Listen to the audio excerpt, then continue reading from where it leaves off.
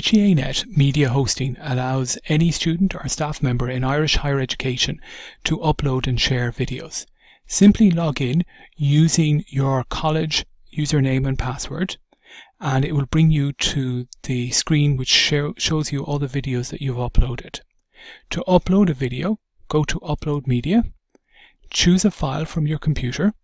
In this case, I'm going to upload this short video. Click Open and Upload File.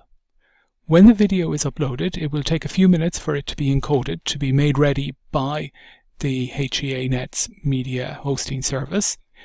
You can click on Edit to change the name, to add a description, to add copyright or tags. If you have a lot of videos, you can tag. So in this case, I could tag this as HEANet. And you can also delete the video from here. You can also do some basic trimming.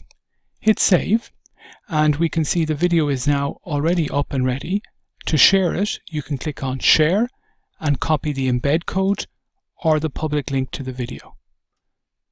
Notice there's also an option uh, here under access control where you can change the access control so that it's restricted viewing to IT Carlow or to your own institution.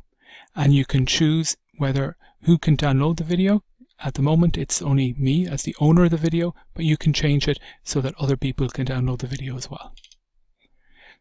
Again, to look at all your videos, just go to My Media and we can see the video that we've just uploaded a moment ago. That's it.